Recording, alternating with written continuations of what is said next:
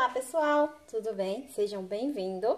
Aqui quem fala é a Joquebede Araújo e hoje eu vim trazer um passo a passo muito lindo para vocês. Espero que vocês gostem e se você gostar, ó, já vai deixando aquele joinha. Se não faz parte aqui do nosso cantinho, eu te convido para você se inscrever e ativar o sininho de notificação, que é para você receber notificação de vídeos novos aqui do canal. E como vocês pediram bastante aí o passo a passo dessa capinha de fogão. Eu resolvi trazer para vocês o passo a passo completo de como eu fiz essa linda capa de fogão. Então, gente, eu faço ela de várias maneiras. E essa aqui foi um jeito que eu achei e ficou muito lindo essa capinha. Então, para você que gosta de enfeitar a sua cozinha ou você quer fazer para vender, eu vou te ensinar como você vai montar uma linda capinha de fogão com esse barrado falso. Nessa capinha aqui, gente, eu usei apenas uma faixinha desse poá aqui, tá? Esse tecido aqui é o tricoline, esse branco é o Oxford. E eu usei apenas uma faixinha desse tricoline, mas na capa que eu vou ensinar pra vocês hoje, eu vou usar ele com duas faixinhas tá? Então, é uma forma mais fácil, mais simples e fica lindo, tá bom, gente? Então, vamos lá montar a nossa capinha. Aqui, ó, eu fiz o acabamento com viés dobrado. Aqui eu vou ensinar pra vocês hoje, a gente vai fazer com o viés aberto, mas se você quiser fazer com o viés dobrado também fica muito lindo, gente, ó. Tá? Então, vamos lá montar a nossa capinha.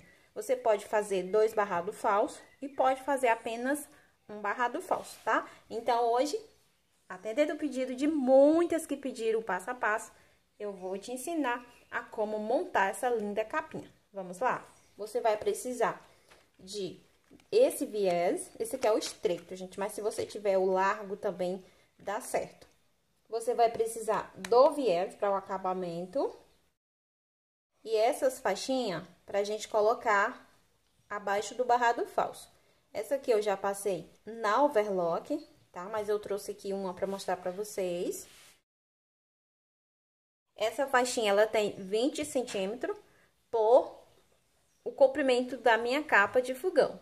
Você vai precisar de um recorte. Esse recorte aqui, ele tem, deixa eu mostrar aqui pra vocês os centímetros dele. Ele tem 46. Eu cortei com 46 pra ter 2 centímetros para costura. A cliente me pediu com 44, mas eu cortei com 46, aumentei 2 centímetros a mais. Então, você vai cortar esse recorte aqui, 46 por 76.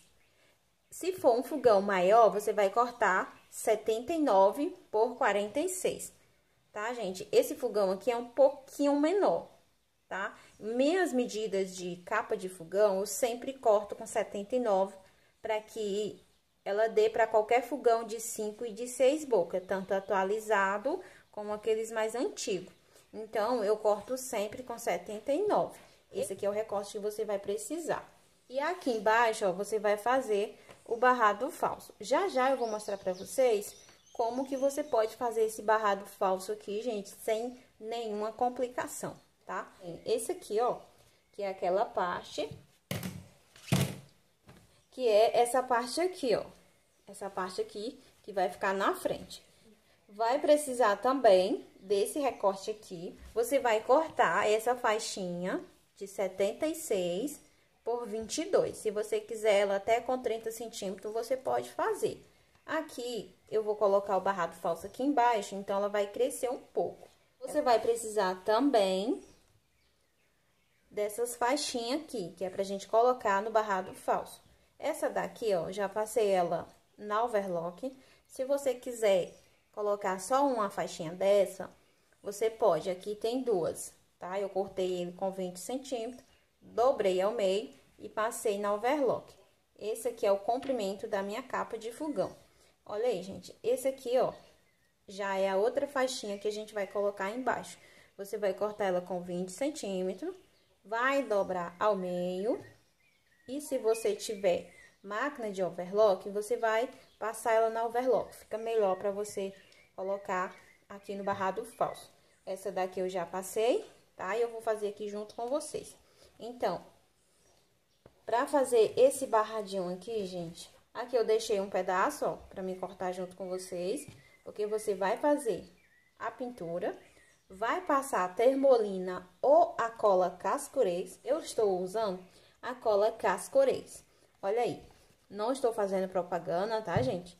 Não sou paga para fazer propaganda dessa cola, mas eu estou mostrando aqui para vocês que ela é muito boa e você pode passar no seu tecido e ela não vai largar. Eu ensino aqui no canal fazer com a termolina. Mas a cola, gente, ela fixa melhor, ela fica mais durinha, ela fica mais resistente. Para você que é iniciante, quer fazer, tem medo de fazer com a termolina e ela desfiar, eu recomendo você fazer com essa cola aqui. Lembrando que eu não estou fazendo propaganda, eu apenas uso essa cola aqui no lugar da termolina. Eu achei muito boa usar a cola, tá? Então, gente, para fazer essa pintura aqui, eu sempre faço com pincel. Para você fazer esse barradinho, eu já ensinei aqui no canal a fazer com pincel. Mas eu achei uma forma melhor para estar tá fazendo Inclusive, foi uma seguidora aqui do canal que deu a ideia pra gente estar tá fazendo com a tinta Agripuff. E depois você passar o ferro e ela ficar alto relevo.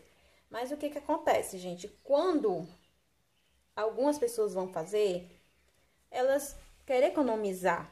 Então, muitas das vezes a gente não tem a tinta de cada cor que você vai trabalhar naquele kit.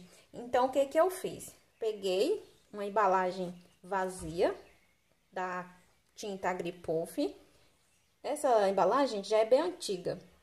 E o que que eu fiz? Eu esvaziei a embalagem, lavei e coloquei a tinta dentro, gente. Então, ficou muito fácil pra gente fazer aqui. Você faz com a maior tranquilidade, não borra, não tem perigo de você errar. Então, eu indico pra você, se você tem uma embalagem dessa, você limpa lava e você coloca aqui dentro. Vai ficar bem fácil para você fazer, porque aqui, ó, essa parte dela aqui é bem fácil, ó. Então, você vai conseguir fazer facilmente com um vidrinho desse. Vai ser melhor do que com o pincel. Então, para você que tá iniciando, tem vontade de fazer esse barradinho, eu dou essa dica aqui para vocês, tá? Fiz aqui meu barradinho, já passei a cola e agora eu vou cortar.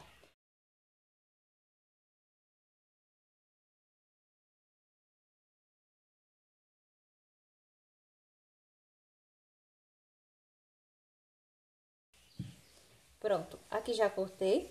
E quando você for cortando, vai tirando com um pouquinho da tinta. Todos que eu corto, eu vou tirando com um pouquinho da tinta. Então, já cortei aqui. E agora vamos montar o nosso barradinho. Pra montar, gente, ó. Colocar o avesso pra cima. Vou pegar a minha faixinha, que eu já passei na overlock. Vou colocar ela aqui, ó, virada pra baixo. Dessa forma aqui, eu achei bem mais fácil, porque ela não vai ter avesso, você não vai é, se perder aqui. Então, ó, coloco aqui, vou marcar aqui, ó. O final do barrado falso vai servir de guia pra mim. Vou passar uma costura reta aqui, ó. Levo lá na máquina, faço um retrocesso aqui e vou passar uma costura reta. Você pode fazer com caseado, com zigue-zague, Fica muito legal também. Essa aqui eu vou passar a costura reta. Aí, vem aqui, vou costurar a costura reta aqui. Vou colocar o alfinete aqui, pra mim mostrar pra vocês onde eu vou passar a costura.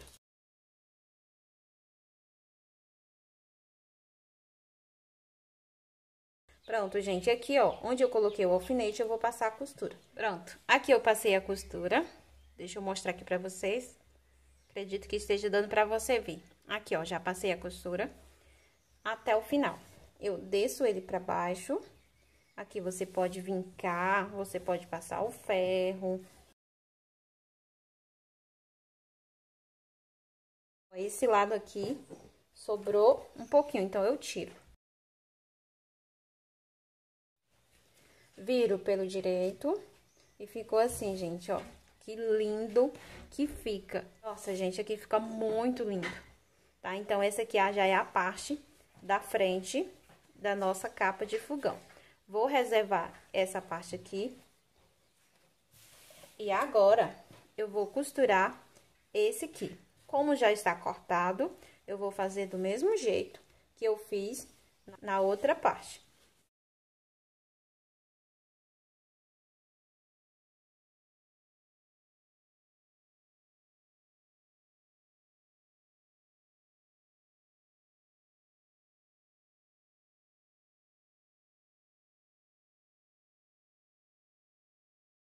Pronto, gente, aqui também na parte de baixo, eu já passei a costura aqui. E agora é só vir aqui pra baixo, tá? Quando eu viro pelo direito, vai ficar assim. Então, essa parte aqui de baixo também já tá prontinha. Agora, gente, eu vou pegar essa parte aqui, que é a parte que não tem pintura, e venho aqui, ó. Vou, vou ver se eu consigo mostrar aqui pra vocês. Vou pegar a faixa, venho aqui com aquela faixa da pintura e vou centralizar ela aqui em cima, ó. E vou colocar aqui, ó, avesso, direito, com o avesso da faixinha. Aqui, gente, ó, aqui está o direito. E vou pegar a faixinha e vou colocar o avesso pra baixo. Vou igualar aqui e recorte já está overlocado. Esse aqui eu não overloquei ainda. Então, vou fazer assim, ó. Venho aqui, vou deixar as duas bem igual. Você vai igualar as duas, deixar certinho. Vou alfinetar o tanto que eu puder, eu vou alfinetar, porque não pode ficar nada torto. Então, vamos alfinetar aqui. Pronto, gente, aqui eu já alfinetei. Coloquei aqui. Pronto, aqui eu coloquei o alfinete, ó. Passei aqui e fui levando aqui na parte de cima e desci colocando alfinete aqui. E aqui embaixo também eu coloquei alfinete, ó. Vou virar pelo avesso, vou pegar o viés e a gente vai costurar o viés aqui, ó. Vou abrir o viés ao meio, porque eu vou passar o viés embutido. Então, dobro uma pontinha aqui do viés e vou começar aqui, ó, costurando aqui. Você vai costurar direito do viés com o avesso do tecido. Então, vamos lá, ó. Aqui eu começo uma costura, aqui eu começo um pezinho de máquina, aqui eu faço um retrocesso e vou costurando só um lado do viés, onde tá vincado, eu vou passando a costura em volta até chegar aqui do outro lado, tá? Eu vou passar essa costura e já volto pra mostrar pra vocês como ficou. Observa se vai pegando direitinho aqui o barrado falso, tem que ficar direitinho. Vou passar essa costura aqui até o final.